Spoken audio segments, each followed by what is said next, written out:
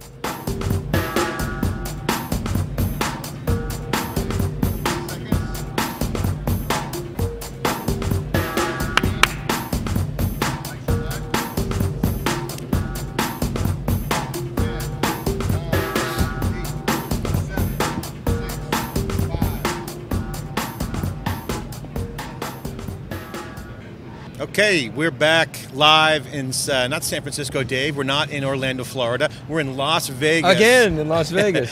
this is the Cube. We are here at EMC World uh, 2012, and uh, this is the SiliconAngle.com, SiliconAngle.tv flagship telecast of the Cube, where we go out to the events and talk to the smartest people we can find, extract the signal from the noise, and share that with you. And uh, I'm John Furrier, the founder of SiliconAngle.com, and I'm with my co-host. I'm Dave Vellante of Wikibon.org. John, this is year three. You know, we we met uh, 2010. We started doing the Cube. EMC World was our first. It's our third EMC World. Very excited to be here with you. You know, Dave, this is uh, really marks a, a, milestone for us because in EMC 2010 we did the Cube, our first ever. Mark Hopkins uh, prototyped it at South by Southwest in 2009, and you know we kind of knew it, it, felt good, but we really weren't sure it was going to turn into. But two years later, full two years, we're in our third season. We've interviewed over 600 people and have had over 6 million views of our content where we go out and go in depth at these events that are not covered by anybody else to this scale. So I'm real proud to uh, have worked with you and uh, the SiliconANGLE team to go out and actually cover really compelling content. And as it turns out, this is the hottest area in tech with Facebook's IPO just behind us last week and the future of the tech world, tech culture, tech industry. Um, it's all revolving around cloud and big data, and that is what EMC is banking on. They took that bet over a year ago. Cloud meets big data, and we're here to cover it wall to wall. And we're going to hear more cloud, more big data. Um, SiliconANGLE will be tomorrow in San Francisco for the HBase conference, which is a database on top of Hadoop. So we got it covered. We got it on SiliconANGLE.com and Wikibon.org for all the research. And uh, Dave, uh, what are you expecting this week here at uh, EMC World 2012? What is your uh, angle on what do you expect to hear from our, our uh, amazing lineup of guests this week? Well, John, you alluded to uh, EMC's marketing of, of, a year, a year and a half ago, talking about cloud meets big data. They definitely were ahead of the game, and it's very clear that they got it right. that messaging is now being used by virtually everybody in the marketplace. Now, here's the thing the theme this year is IT plus business, transformation, transform your IT, your, uh, your business, and yourself. When you think about transforming IT, John, to me that's all about cloud. Now Wikibon just launched a survey last week of its practitioner community and we found that, really John, we've said it here in theCUBE, 2012 really is the year of the cloud and we've confirmed that. I want to give you some data points. Last year, 15% of the people we were, uh, interviewed in the Wikibon community said cloud is meaningless buzzword. Today that number's down to 15%. Last year, only 9% said hybrid cloud was their primary strategy. That number shot up to 37%, so that's clearly happening. Now, on the big data side, so that's the IT transformation. The big data transformation, or the, the business transformation is all about big data. We, did a, we had a couple of questions in there on big data. John, the number one challenge that people have with big data is monetizing and getting value out of information. So they talk about the three V's, variety, velocity, and volume. There's a fourth, and that's all about value. And that's really what the big data transformation is all about. And then, of course, there's the personal transformation. And if you're an IT professional, that's all about getting cloud smart, becoming a cloud architect. And if you're a business person, it's all about being good with data, good with numbers, and actually finding ways to monetize big data. You know, EMC, Dave, has done an amazing job. We've talked about this on the Cube, and we're going to have Jeremy Burton, who's the CMO of EMC, on Thursday morning. Uh, I mean Wednesday morning, and. Uh, their marketing has been fantastic for a couple of reasons. One is they saw the trend of cloud, they saw the um, the trend of, of, big data as well, and they actually marketed to that. When in reality, the market was so early on, they've established a good position in there. But at the end of the day, what we're seeing today from EMC in this show is the kickoff of a new set of positioning around EMC. They're going to expand the cloud meets big data positioning and take that messaging and the product and the value that they want to deliver to their customers to a whole nother level. They're talking about transformation for IT, which is essentially data centers and corporate enterprises, service providers, which is you know cloud providers, uh, and also individuals. And that is ultimately where it's at. And there's different themes around this. So EMC has packaged their product and portfolio of solutions to address the cloud meets big data. So for EMC, when they talk about cloud, they're referring to IT. And to some extent service providers with all their infrastructure and solutions. When they talk about big data, they're really talking about business transformation. And we covered this on the Cube at SAP Sapphire last week, and we've been doing it for over a year. Big data with Hadoop and unstructured data warehouses evolving is really about transforming and instrumenting the business. And we're seeing massive disruption, Dave, in this area. So I think EMC's got it right. I think they have good messaging that they're building on. And I think what they're going to do is extend that messaging and really deliver the solutions. And I got to tell you, from our research and our coverage on siliconangle.com, that clearly this is resonating with the C-level executives where they understand that the transformation both on the infrastructure side and the business is happening, all the way down to the developer communities within these environments where the developers are adopting open source. Open source is a variable in all this. And so you got the perfect storm for innovation and ultimately value creation, as you said, and that is you got the top down, approach with the C-level and the bottoms up with the developer. So between those two, you're going to see the consumerization of IT hit the main stage this year, and I think EMC, again, is smart to be ahead of the curve on this. You know, John, uh, Paul Maritz, the CEO of VMware, has talked about going beyond cost savings, going beyond consolidation, and getting deeper into business integration. That is the land grab that's going on right now. Cloud is the enabler of that. Big data is the realization of that value, and so we have all the guests, all the executives, we got customers, we got bloggers, we got analysts coming on. John, I really want to understand from the EMC executives what transformation means uh, uh, for them, how they're supporting customers getting from point A to point B without massive disruption, without having to rip and replace. That's the big challenge that, that IT executives you know, tell us. Here's the problem, is if you look at the data, about 60% of the spending that goes on around servers and storage, about 60% according to Wikibon is on labor. That's enormous. Now, IT is supposed to be about automation. And here we have a situation where labor is choking innovation. So that's why people always talk about 70% of investments are made on running the business, only 30% on growing the business and innovation. In order for that to flip, that has to change. So I think we're going to hear a lot about infrastructure that's converged. I'm interested in hearing about that and how you support these new big data applications, John. You know, Dave, you mentioned a good point about the labor and value, right? So here's, here's my take on all this right now. In the industry right now, when I talk to CIOs and people in the trenches, the number one issue right now is what is my future going to be like?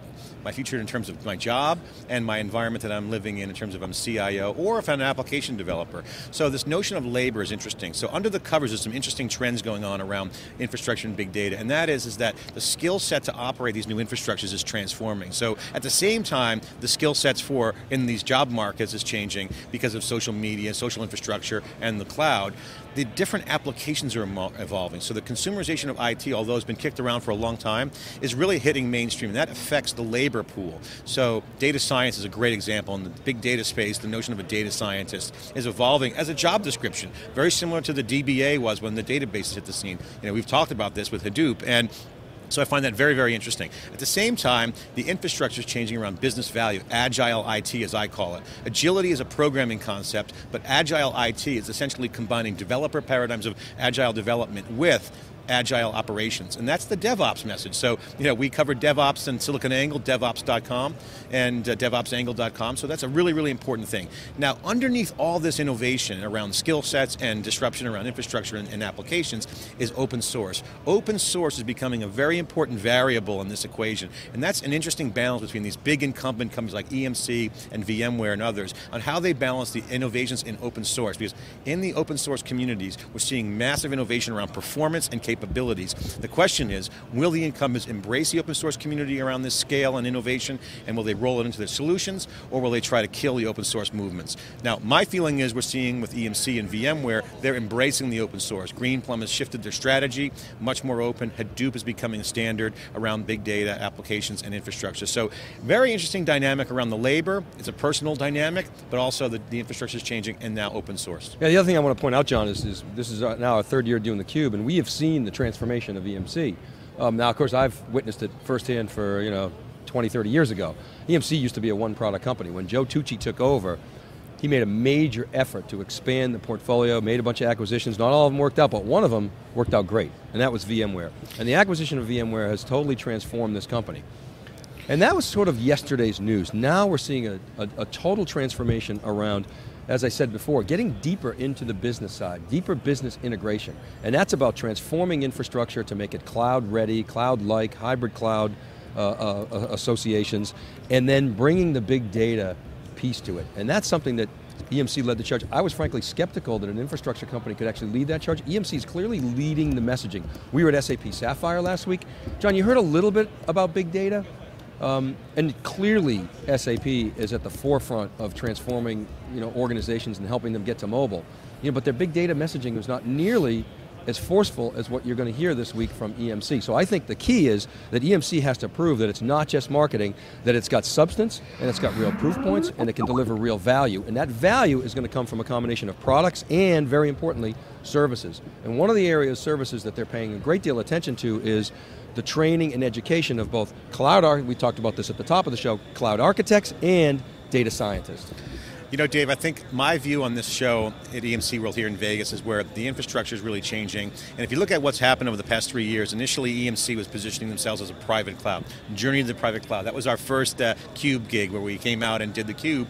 But now it's evolved into a couple different segmentations. So I'm, I'm looking at this marketplace segmenting in the following categories IT organizations, service providers, developers, what's happening under the covers, and then the application market. So on the IT organization, the theme is li- literally IT as a service, uh, consumerization of IT, but really agile IT as I call it.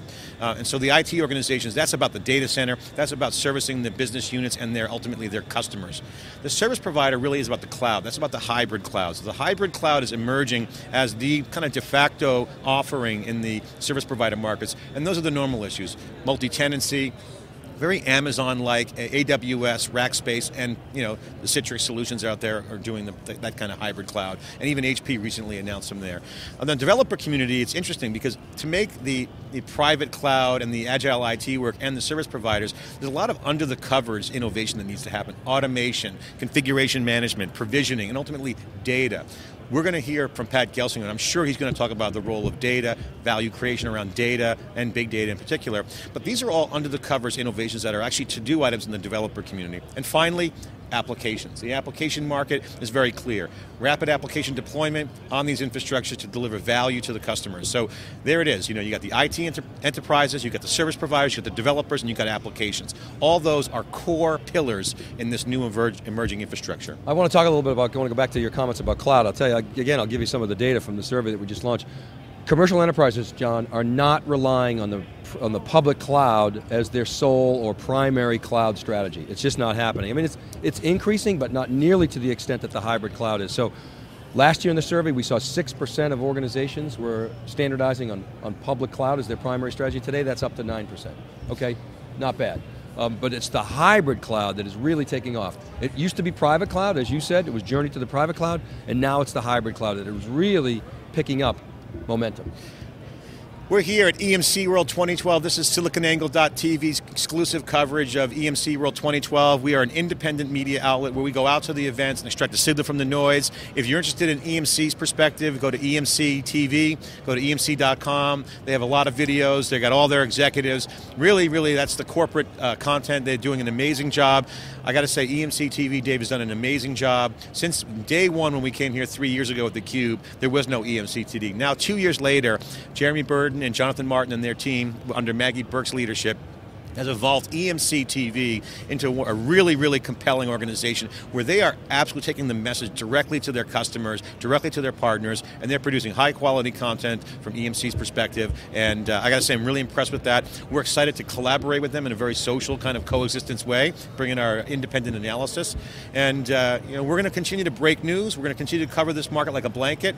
Again, next course of the day, we got you know 60 interviews lined up plus, if not more, um, packed wall to wall coverage. We're going to be going live every day, today, tomorrow, and Wednesday, and we're wrapping up Wednesday night. So keep watching siliconangle.com, siliconangle.tv, and for more information, go to those sites, and also for research, go to wikibon.org. You know, John, you mentioned EMC TV. What I like about what EMC is doing there, and you mentioned this to Jeremy Burton, is they're putting a big investment there. They're they're, investing in the way in which people want to receive information, which is video. At the same time, everybody knows it's EMC TV. I mean, Jeremy even said at one of these shows, hey, if you got something good to say, come on on EMC TV. That's what it, that's what it is, that's what they do. But at the same time, I think Maggie Burke and company recognize that collaborating with people like us, independent news organizations, independent analyst organizations, is good for them because that validates what they're doing. And so communities collaborate. We have a community, they have a community, we're collaborating. John Furrier and I are going to go up on the main stage today in Hall A, right before the Joe Tucci keynote, and we are going to be on stage providing independent perspective with Maggie Burke of EMC TV. John, I'm very excited about that. Let's talk about what are we going to talk about because obviously EMC is exciting about this new Mega Launch 2. So uh, the big news that we'll be talking about on the big stage and here in the Cube this week is the fact that EMC is coming out with what they call Mega Launch 2, Dave, and that is uh, building on the Mega Launch 1, which we covered in January uh, of last year. Um, in London and New York, where they had the largest ever announcements in terms of EMC's history under Jeremy Burton's leadership, of course. Um, and today, it's the same thing. They got 42 uh, product announcements this week at EMC World, um, 14,000 attendees here in Las Vegas. EMC has totally evolved from a storage company to a absolute infrastructure player, and now with the big data messaging, they are actually delivering great solutions. And I got to say, I'm very impressed with the messaging, but also the positioning.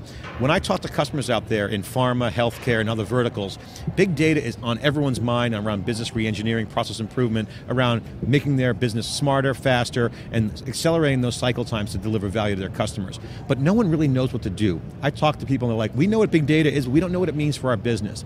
That plays to um, their strengths here at EMC because their organization around the service and support absolutely have great relationships. They can bring that consulting organization, guys like Bill Schmarzo, Cube alumni, among others at EMC, under Howard Elias's group.